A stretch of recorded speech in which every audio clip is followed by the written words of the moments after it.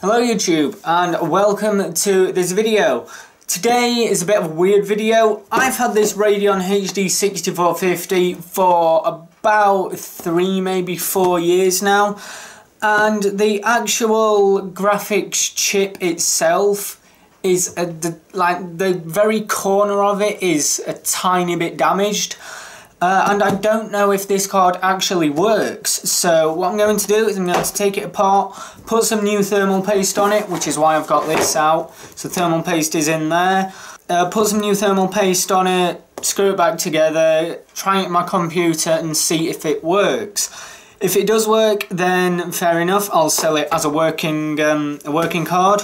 Well, I say sell it. I, I want to sell it, but who's looking for a 6450? It's 2016 when we've got 1080s. But yeah, I'll either sell... If it does work, I'll put it up for sale on eBay. Just someone might buy it. And if it doesn't work, then I'll either keep it to refine the precious metals off it, or I'll just sell it as scrap. Anyway, lecture over. I've already done that. Let's get rid of that. Now we need to take this out. It's wood, it's not conductive, so I can put it on it. Well, it's laminate, but still, it's. I don't think it's conductive. So it is those screws. Where did I put my screw? Oh, they're over here. See, look at me being all prepared. That screwdriver seems to fit every screw to ever exist that is of Phillips type shaped head thingy. There's one screw, there's two screws. Right, now let me show you the damage to this chip. But as you can see up on that corner there, there is like a chipped corner. The corner is damaged and as a result I don't know if this graphics card works or not.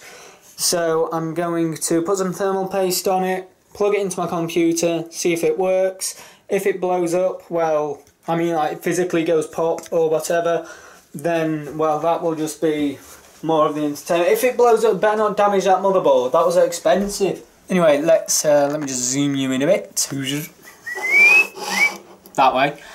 Uh, this thermal paste is also from 2012 when I built my system, and as a result, I can't even. Oh, yeah, we're still a liquid. Okay.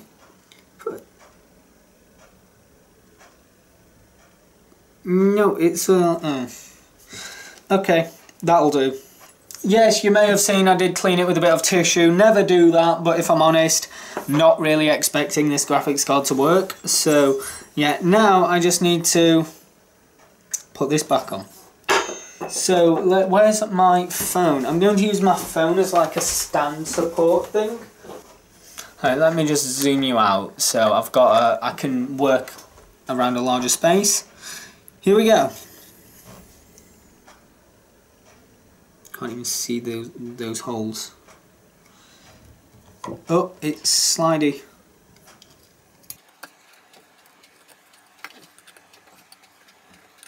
Let me get a screwdriver that actually fits better. Because those screws are tiny. I thought they were bigger, but they're not. Uh, that one should work. This one should fit fine. Oh yeah, this one fits better. Wait, was this one not even screwed in? Right, that was quick, easy, simple. No, I still do it the wrong way. Remember, it's reversed. There we go, new thermal paste has been put on this graphics card and now I need to install this in my computer. So here you can see my computer on the floor. Now if I were you, I would recommend you do this like on a workbench or something, but as I'm literally just going to plug the graphics card in to see if I get a signal, uh, I'm just going to leave it all plugged in. I have unplugged it from the mains power by the way, so there's no power going into the system, and no power can go in because it's unplugged.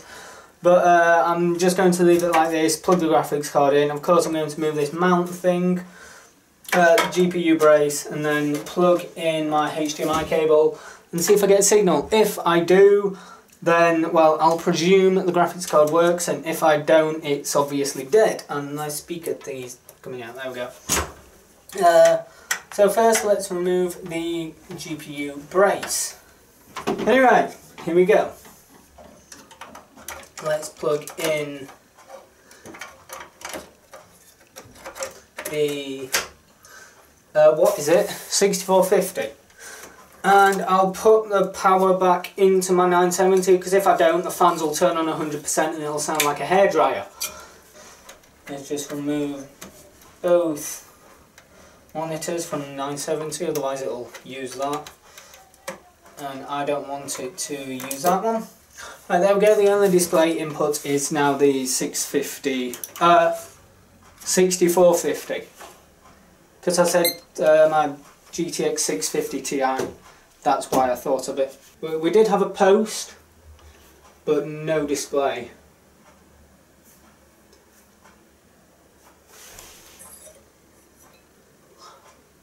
Well, the heatsink is getting warm, but still no display.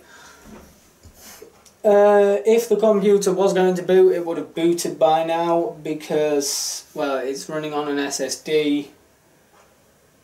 Uh, my monitor's still in standby mode, indicating there is no signal being detected.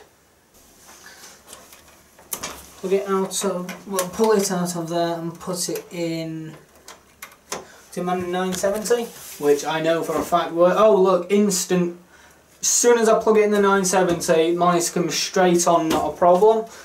Take it out the 970, put it back into the 650.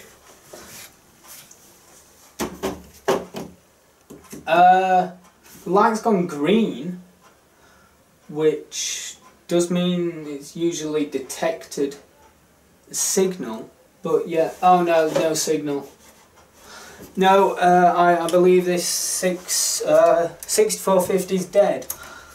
No signal is being detected at all through it. So, yeah, I think that six, uh, 6450 oh, is dead. So let's turn the computer off.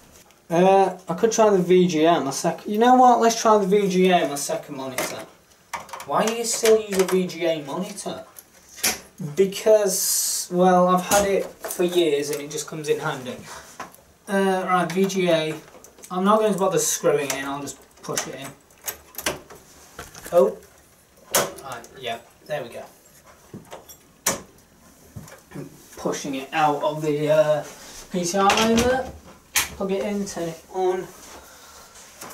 Then power on.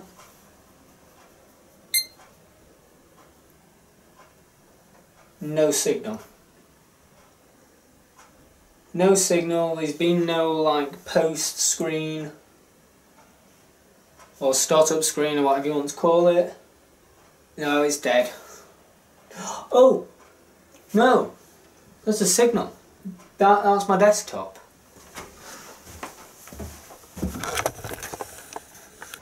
See? There's a desktop. Um... Right.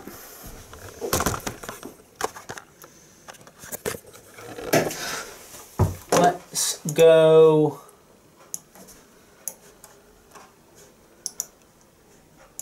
Properties, Device Manager, Display Adapters, Radeon 6450.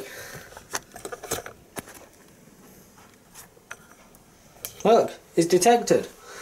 So does that mean the HDMI doesn't work?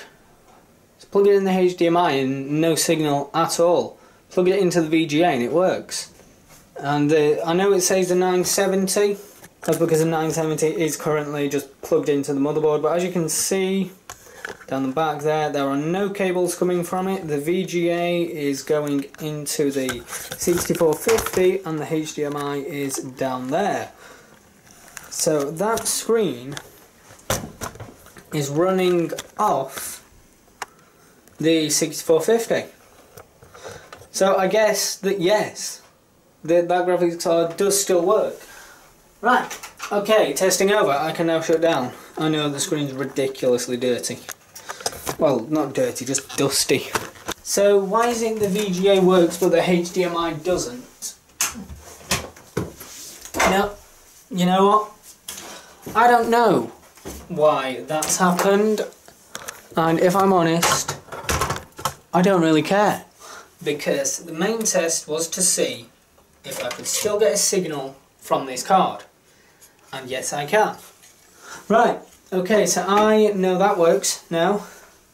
There's a testing complete. I can say, so yes, this Asus uh, Radeon HD 6450 does actually work with that uh, small bit of damage on the corner that you saw.